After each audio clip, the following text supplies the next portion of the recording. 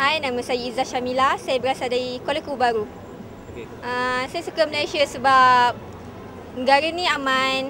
Uh, bagai bangsa, agama dan tidak berlaku uh, sebarang peperangan. Actually, paling suka main mercun ke?